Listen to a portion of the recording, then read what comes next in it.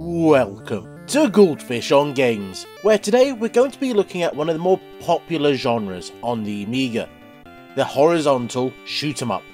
And as you might imagine, there's quite the range of games. So let's look at some of the Amiga first or exclusive titles as we check out the Amiga's answer to R-Type. Starting with there's, there's a whole lot more coming. That was released in 1989 and was developed by DMA Design, yes, those of Lemmings fame, with Psygnosis handling the publishing. But this wasn't their first shooter, that would have been Menace.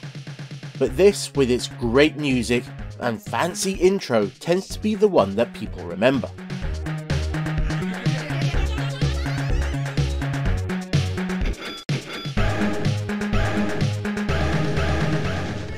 The game, for the time, looks amazing with detailed sprites and backgrounds, and lots of animation going on. They even boasted they had 1 megabyte of graphics.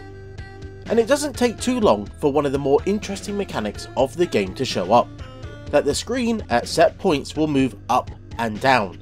You'll still have to keep shooting horizontally, so it is in keeping with the episode's theme, but it is something you'll have to keep an eye out for, as it will just suddenly happen. Oh, and by the way, if it looks like I'm cheating in any of these games, well, that's because I am. I'm not the biggest fan of shoot 'em ups, and as such, I'm not the best at them. So this helps me show you more content, so hopefully you'll forgive me. And there is lots of content to show in this game, as the levels are huge. And there's four of them for you to tackle as well. But when it comes to the weapon, well, our starting off one is a little weedy. But the enemies will drop money when they die. Blood money, if you will. That you can then use to upgrade your firepower. Which is done at these handy upgrade stations that you'll find dotted around the levels. So you can add angled shots to your main attack, or missiles that will fire behind you, or even get bombs that will rain down on those below. And on top of all that, you can also extend the ranges that they travel. The cache also has a secondary usage, as you'll need to buy your way into the various levels of the game, and each one has its own craft for you to pilot, which is quite cool. And if you die, well, you'll lose all your weapons. And death, well, it comes very easy in this game, and the amount of health you have is very limited.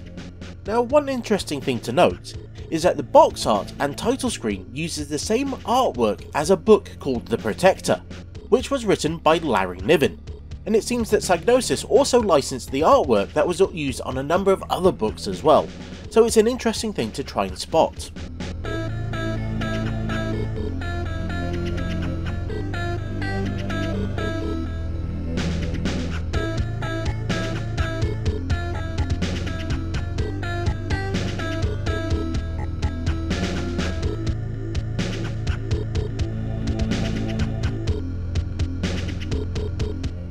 I've decided to go in release order for these games, as I think it's a good way to show how the developers improved with time. So the next game is Ziriax.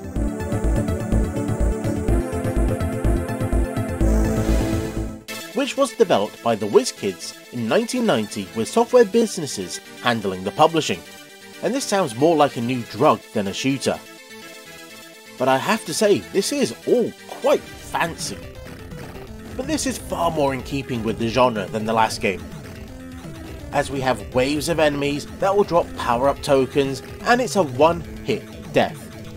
And as we'll see later, there's lots of enemies on the screen at once, all while running quite smoothly and looking really quite nice as well. It's not often you see this many sprites on the Amiga, not at this frame rate anyway. But behind this impressive looking game is a bit of a sordid history, as a buggy beta of the game was leaked by one of the testers. And this is the version that got copied and passed around, before the game got its supposed official release. A release that surprised the developers as they never actually finished the game, a combination of issues meant that the source for the game was lost during development, and the team figured, well, that was that, the game was dead. But the publishers released what they had gotten so far, and they never told them. This is all kinds of shady. But thankfully, a developer called Ross on the EAB forums took up the task to fix up the beta, and then released the Ziriax 100% Ultimate Edition, which makes it sound even more like a new super drug, that even the original developer showed up in the thread to thank them for their work. So how is the actual game? Well, it's hard. Not just I'm bad at it hard, but just about everyone calls it hard. As you might have noticed, there is a lot going on. And even with the upgrades, which uses a similar system to Nemesis or Gradius if you will, that you collect upgrade tokens which will move you along a list, and then you can hit the spacebar to activate it. The upgrades range from having a few pods, to having a rear launcher, plus you have these bits that move around the craft, that will then fly off in their current direction when you let go of the fire button, so you can't just keep holding it down if you want to use those. All in all, it's a very impressive shooter for the time, just one that might be pitched a little bit too hard. But it's difficult to be harsh on the game, particularly when it technically was never finished.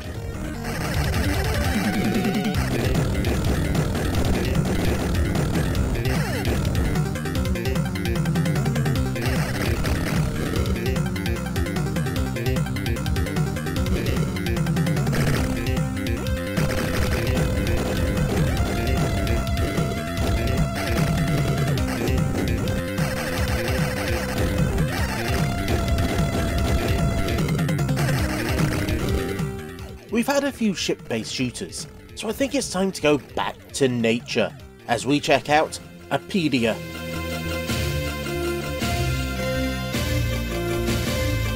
That was developed by Kaiko and published by Playbyte in 1992.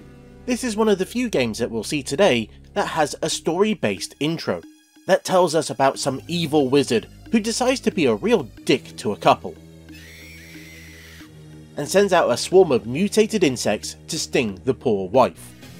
So what does our hero do?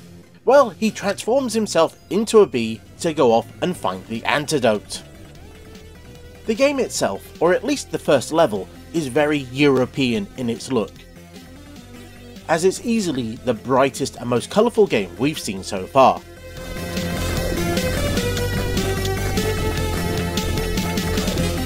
And as you might have guessed from turning into a bee, this is mostly a game about shooting other insects, with there being a mix of flying and walking ones, all of which are trying to kill you in some different way.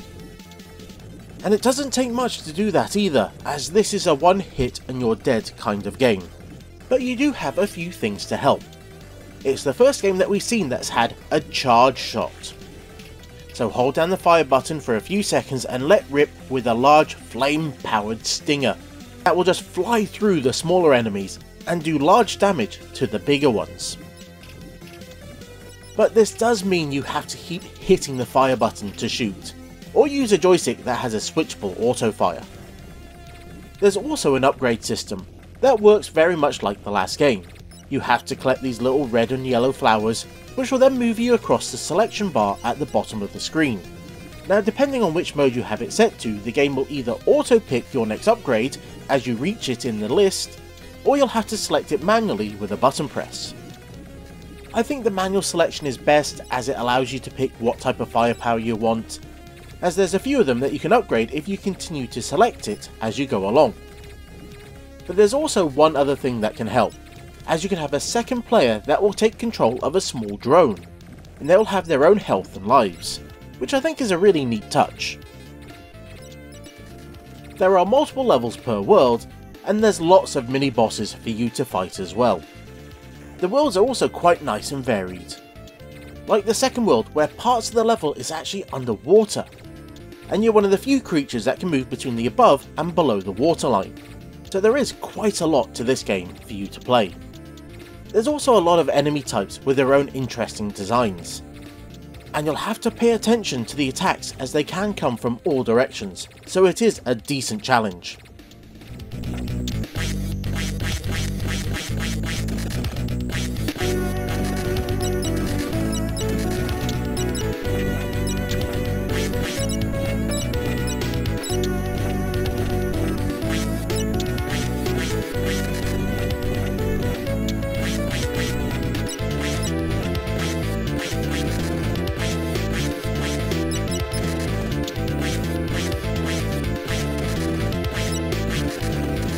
And we move from one insect based shooter to another because it's time to feel the agony.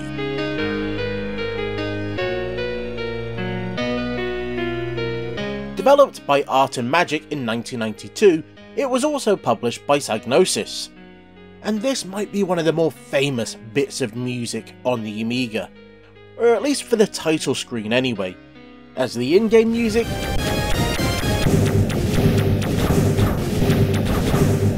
well, it's a little different. And as you might have noticed, you are playing as an owl. Which was the form you picked to try and complete the task that the Grand Wizard set to his apprentices, to see who would gain the cosmic power. So now you have to fight your way across the magic lands to win his favour. Which means having to shoot at quite the range of weird beasties in what is a very nice looking and animated level. And just how about the animation on that owl? That's just wow.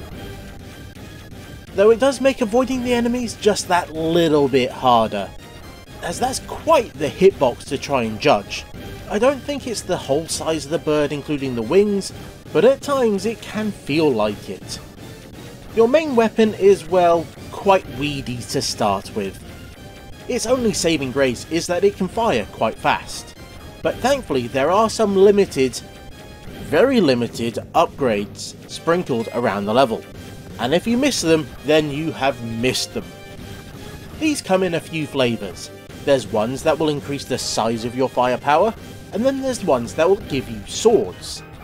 Now these act a little bit like a shield, as any creature that comes in contact with them will get damaged and typically will be taken out rather quickly. And you gain two of these, one above and below. And when you die, then these will get reduced down a level. So thankfully it's not quite as harsh as some games, but your weaponry will go down when you die.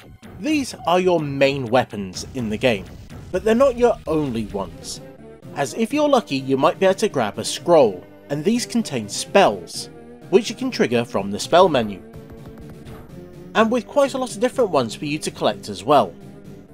But they will only last a short amount of time when you trigger them, so you have to do that at very careful times. Now typically you might think that would be when you're up against a boss, but even for me, the bosses in this game aren't that hard. And if you've got a powered up owl, then normally you can find a nice place to sit and do a lot of damage while not taking any at all for yourself.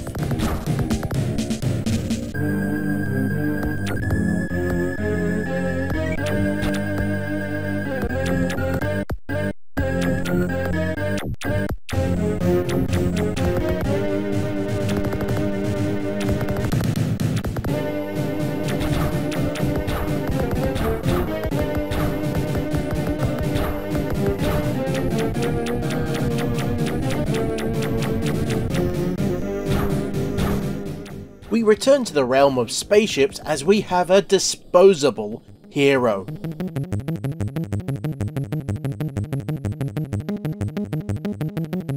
Developed by Boys Without Brains, or is it Euphoria? They use both names during the intro. It was published by Gremlin in 1993 for the original Amiga, and it got a CD32 edition in 1994, which marks the first game so far to have an AGA release but don't be too hopeful that they did much, as this is largely a straight conversion, with some CD music.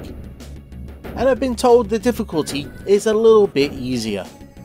Both versions share a common intro.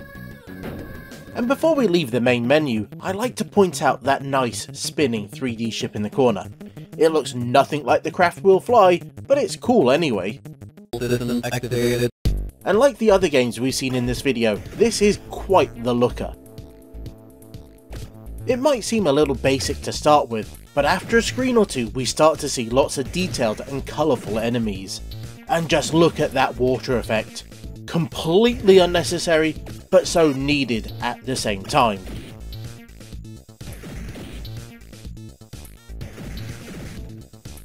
The enemies are quite the varied lot as well.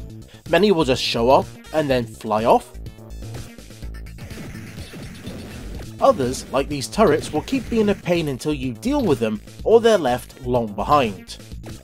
And I really like this mech combo that splits up with the walker side of it just stomping off with the water splashing around his feet.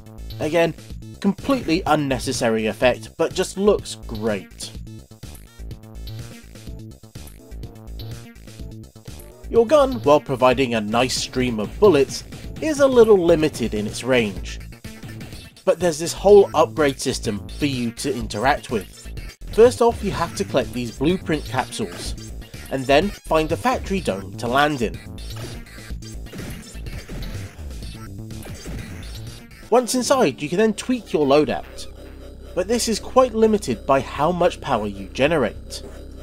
Thankfully, one of the blueprints increases the amount of power your craft creates, but you might still need to remove weapons to bolt on different ones, because you have to try and remain within your power envelope. But just to make this a little bit harder, you can't use those blueprints right away. They take time to convert, which is all done in in-game time, not in factory time. But what is really quite useful is the fact that you don't lose your loadout when you die. But you do have to deal with the checkpoint system instead. Now it's been relatively even between the games that let you start from where you die and those that use checkpoints. And as you might expect from the genre, there are a few mini bosses, as well as some proper ones that you'll have to deal with at the end of each level.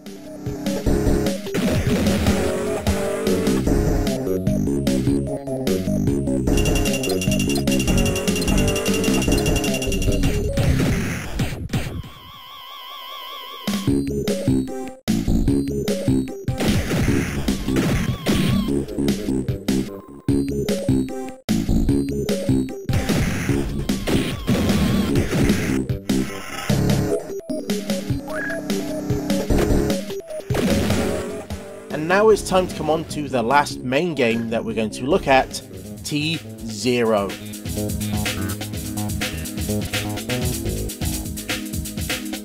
This was developed by Trauma Zero Team and published by PXL in 1999, so that puts it a good few years after the last game.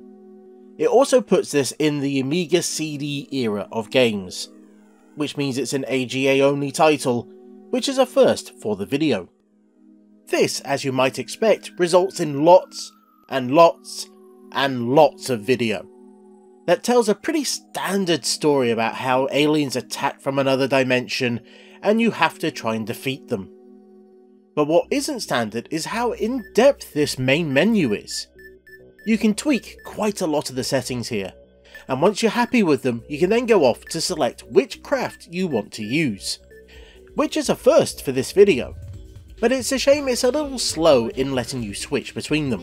Secondary weapons, plasma, missiles, rear plasma, and homing. But it does give you an overview of what each craft is like, including some audio as well. And this does give you a chance to be able to select a craft that suits your playing style, as there's larger ships with more firepower and smaller ones that can weave around the enemy. And once in game we get a technically very impressive looking title.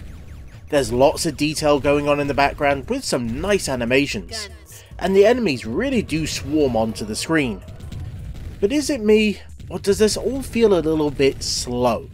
Not like it's lagging or anything, it's just the gameplay feels quite slow. Because every so often it feels like it wants to go a bit faster, but then fails. The upgrade system is also unique for the games that we've looked at, as you can separately upgrade your primary and secondary weapons which is done via capsules that float around. The coloured ones will switch or upgrade your primary attack with guns, lasers and plasma weapons that all have their own levels of upgrades, and then there's the secondary attacks that have letters in the pickups. Now these are far more varied and tend to be limited by the ship that you've picked, which could be anything between rear attacks and homing missiles, but you also have smart bombs. And on top of all of that, there's other pickups that you can collect as you go, that might make you invincible for a little while, or even downgrades that will reverse your controls for a short amount of time. So there is quite a lot of depth to this game. It's just a shame it doesn't feel all that great to play. It's technically a great game, but mechanically it just feels a little bit off and slow. But that could be just me.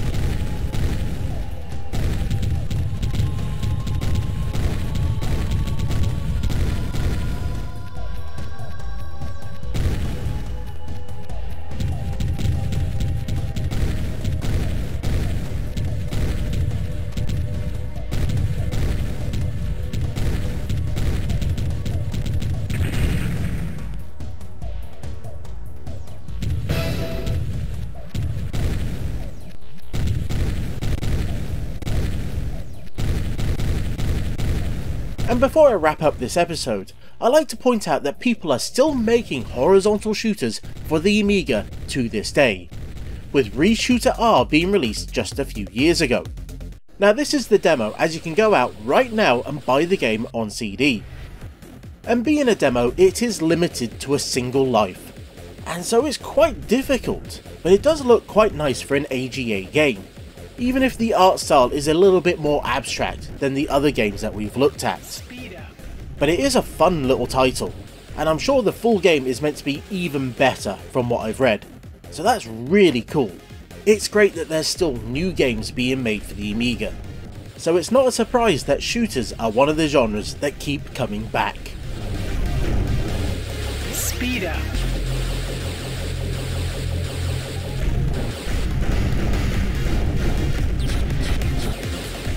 And there we have it, a range of shooters for the Amiga. Now seeing that there are quite a lot of them, it would have been almost impossible to cover all of them in a single video. That just means we're going to have to revisit this subject again at some point. So if you have a favourite that I didn't cover, or you think there's one that I should check out, let me know down in the comments. And until next time, I was the GouldFish, that was a lot of pew pew pew pew, and this was GouldFish on Games. Thank you for watching. Hopefully you enjoyed watching the video as much as I enjoyed making it. And if you did, then you could let YouTube know by using the buttons down below. You know the ones I mean. Or you could check out some of the other videos that I've done that you can find on the screen right now. Or if you want to chat more, then join the Discord,